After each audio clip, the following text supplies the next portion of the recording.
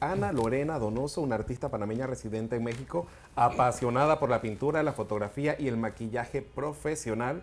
Desde niña tenía la vena artística, pero es en México donde logró desarrollar su talento, el cual quedó plasmado en la exposición Sueños. Bienvenida, Ana Lorena, ¿cómo estás? Feliz Día Eh, Internacional de la Mujer, para empezar. Sí, buen día a todas y muchas gracias por la oportunidad. Ana Lorena, cuéntanos, ¿cuántos años tienes allá en México? ¿Cómo fue ese proceso de, trasladarte allá y por qué a México? Eh, sí, bueno, yo ya tengo ya, voy para 10 años acá en México, específicamente en la Ciudad de México. Eh, y bueno, básicamente el destino fue el que me trajo acá. Esto, mi esposo trabajaba en Panamá, él es mexicano y bueno, pues esto, según yo me venía por un ratito y ya llevo 10. Te enamoró México entonces. ¿Qué es lo que más te gusta de Me Sí. México? enamoró mexicano, pero después se fue para México y se enamoró de México. Sí, sí. Bueno, la verdad es que la cultura, esto, el arte, esto es un país, esto, que la verdad es que uno nunca termina de conocer, pero bueno, siempre tengo presente el amor eh, muy plasmado de, de mi Panamá. Cuéntanos un poquito sobre tu proyecto o la exposición Sueños. ¿Cómo nace, cómo la elaboras y cómo la proyectas? Sí, bueno, esto, después de tanto tiempo viviendo acá, yo soy administradora marítima portuaria, esto, graduada en Panamá y ejercí mi carrera en Panamá. Eh, llevo acá toda la vida, tuve esto, la pasión por el arte, pero son esos sueños que uno nunca se atreve a, a hacer, ¿no? Eh, llego acá y comienzo a, tomar muchos cursos, de diferentes cursos con diferentes maestros en diferentes estos, lugares de artes. Y esto comienzo a pintar en mis pasatiempos, en mis momentos libres. Y eh, después de pandemia es que comienzo ya a darle como más forma eh, de manera más seria, ¿no? Eh, ya vendía cuadros, ya hacía grandes formatos, pero lo hacía como pasatiempo, como hobby. Y en pandemia, bueno, esto, soy mamá por primera vez y es ahí donde ese, ese momento de, de querer esto, buscar paz o buscar otras cosas, comienzo a hacer un primer cuadro y me comienzo a dar cuenta que me estoy inspirando en colores de Panamá y metiéndole eh, de manera abstracta esto, le estoy metiendo que si una mola, que si esto, elementos de la cultura panameña. Entonces ahí cuando comienzo a hacer una colección eh, llamada Sueños y es el año pasado que eh, termino con, culmino con tres exposiciones. ¿Crees que la aceptación de tus obras siendo panameña está bien aceptada en México? Súper, súper aceptada, porque la verdad es que eh, eh, es un país y una ciudad donde se vive mucho el arte. El arte es muy aceptado y siempre las personas están viendo nuevas propuestas, con, eh, viendo nuevas cosas, nuevos colores, nuevos, esto, nuevas tendencias. La apertura es muy grande y siempre las personas están esto, queriendo eh, saber un poco más de otras culturas, ya que nuestra cultura es una cultura poco conocida, pero con mucho, un, potencial muy grande para, para darlo, exportarlo. En este sentido, eh, Ana Lorena, eh, ¿qué, qué expones de Panamá, por ejemplo, en, en el arte que muestras allá en, en México?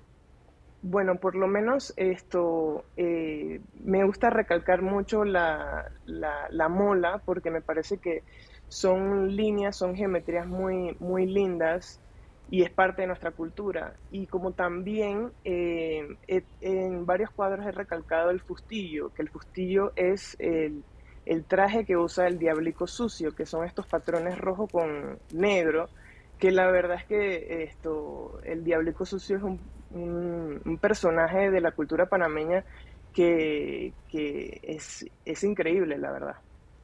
¿Y qué es lo que más extrañas de Panamá? Eh, bueno, la comida siempre. eh, y bueno, la verdad es que el folclore. eh, extraño mucho la familia de papás de Chitré y siempre esto recuerdo todos esos desfiles, esto, los 19 de octubre de Chitré, llenos de colores, la pollera. Esto, siento que tenemos muchas cosas que rescatar. La naturaleza, también soy amante de, de nuestras playas, naturaleza, nuestro, nuestro ecosistema, todo, la verdad. Ana, aparte de, obviamente, pues recordar un poquito de Panamá a través de tus pinturas y de tratar de, tú sabes, exponer esto en una obra de arte, ¿Cómo más mantienes a Panamá cerquita tuyo? Eh, bueno, la verdad es que eh, siempre trato de ir esto mínimo dos veces al año, pero la verdad es que a través del arte es que siempre rescato como esa esencia de querer esto. Eh, todavía yo pienso que en nuestras generaciones esto estamos a tiempo y se está haciendo un buen trabajo de rescatar nuestra cultura y plasmarlo en el mundo moderno. Y pienso yo que es la manera de estar cerquita con nuestra cultura y, y exponiéndolo, ¿no? ¿Te costó adaptarte a México? Eh, bueno, la verdad es que, que no. Esto, yo ya en, en, tiempos atrás viví en Alemania y como que aprendí a saborear esto, lo que estar lejos de, tu país, pero la verdad es que eh, uno siempre va a extrañar, siempre va a extrañar esto, lo que es su tierra, sus amigos. Yo soy muy amiguera de tener esto, mis, mis amigas y mis amigos de esto bien cercanos son, todavía los conservo y son de Panamá. Ana Lorena, te habla Alexis de Pool. Yo fui, eh, no fui estudiante de tu papá en la, en la, Facultad de Comunicación, pero sí estuve en la primera junta de facultad cuando él era decano de la facultad. No sé si ah, okay, perfecto. Sí, tuviste experiencia con el profesor. No, no, no porque yo estudié en Chiriquí, no, Chiriquí. no, lo conocí. Bien, sí, acá sí lo conocemos, lo recordamos muy bien. Un saludo para él a través tuyo. Eh, la pregunta que sí. te quería hacer era acerca de, de, de la comercialización de tu arte. ¿Qué experiencias has tenido? ¿Has podido eh, vender? ¿Has tenido eh, buenas, malas experiencias? ¿Cómo es la oferta? Porque el arte también es eh, algo sí, en lo que sí, se sí, invierte y es un país grande donde hay inversionistas en arte como en otros países que pues esto se ve como una inversión importante. Claro, claro. La verdad es que, bueno, eh, el arte es, eh, es como un camino de resistencia, ¿no? Eh, pero siempre tienes que hacerlo con mucho amor, porque si lo, si lo comienzas a ver como, como números, como comercializarle, te puedes volver loco al principio, ¿no? Pero si yo pienso que lo comienzas a disfrutar, lo comienzas a hacer con mucha pasión, eh, ahí vas a encontrar esto, muchos interesados, compradores.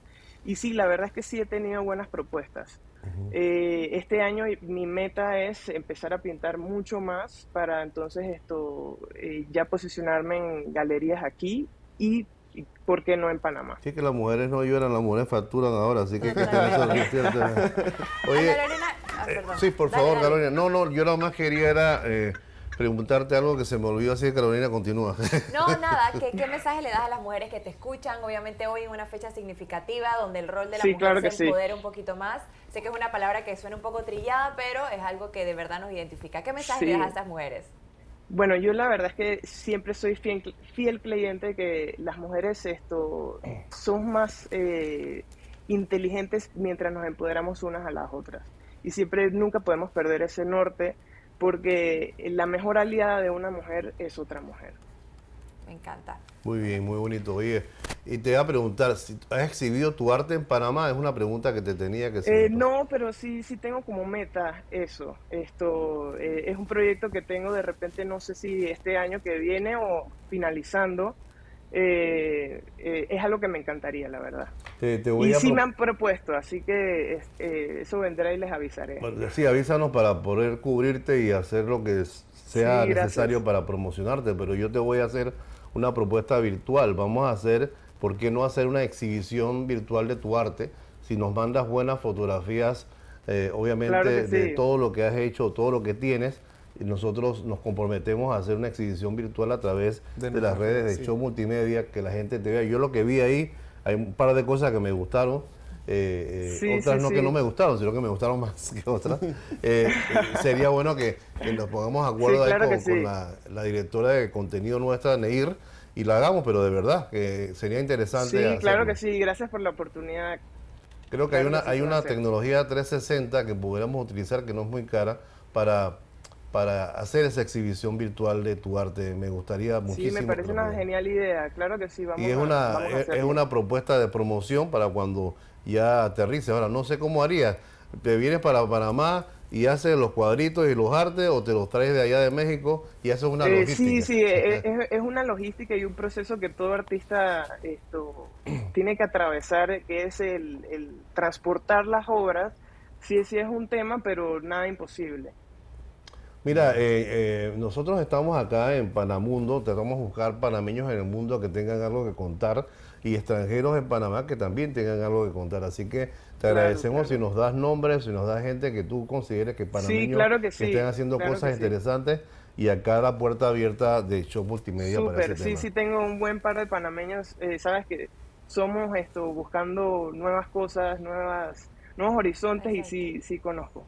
Oye, una última pregunta muy importante, tal vez la más importante que tenemos en todo el día, en toda la, en la entrevista.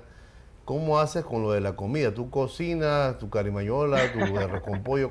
¿Cómo haces? Sí, bueno, la verdad es que aquí, esto, como somos mitad panameños, mitad mexicanos, pero aquí siempre nunca falta el arroz. O sea, aquí esto siempre va a haber arroz y tortilla y entonces uno esto busca su batalla, pero por lo menos siempre, como buen panameño, siempre necesitamos el arrocito diario. De las comidas que hay, y tú eres del interior también, así que todavía hay más, más, más autóctona con relación a, las, eh, digamos, a los bocados, a la comida, a las cosas. ¿Qué es lo que más te gusta? ¿Qué es lo que más extrañas? Eh, bueno, la verdad es que la carimañola, eh, todas, las, esto, todas estas cositas, la hojaldre, la tortilla panameña, eh, el bistec a caballo, que es algo que, sí me gusta mucho. Qué rico, ya nos está dando hambre. Ya nos dio hambre, acá no hemos desayunado todavía. Son las 8 y 01. Te agradecemos, no sé si hay alguna otra pregunta. Sí. Todo bien, muchas gracias Ana Lorena por estar aquí con nosotros en Shock de Opiniones. Sí, gracias a usted, Choque de Opiniones, por la oportunidad. Recuerda el, compromiso de la exhibición virtual de tu arte, por favor.